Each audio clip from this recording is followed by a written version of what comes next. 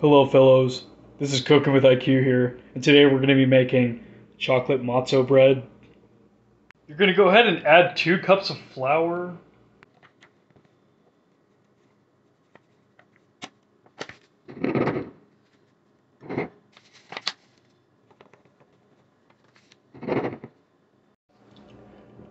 Alright, go ahead and dump the flour into the bowl.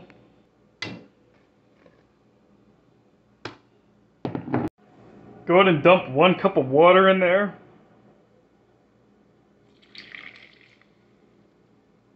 I go ahead and add some delicious succulent chocolate.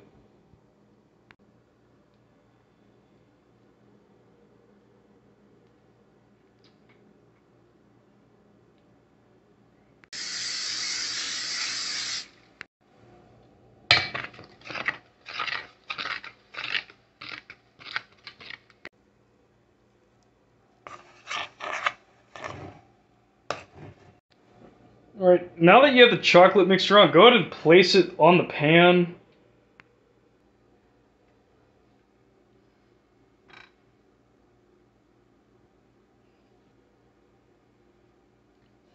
Now that that beautiful slop is on the pan, go ahead and set the oven to 475 degrees. This is only going to take two minutes to cook.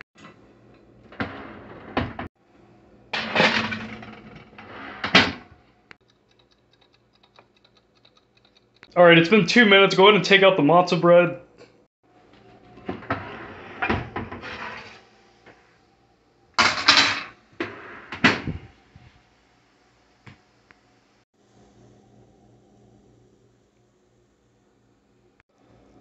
Alright, go ahead and flip your matzo bread.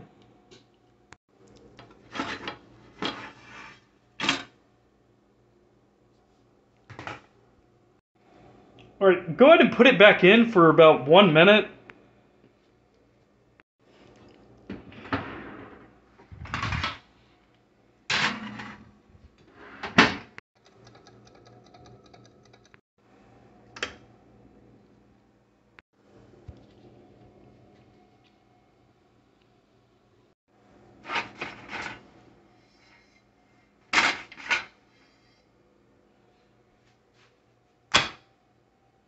And that, my friend, is how you make chocolate matzo bread.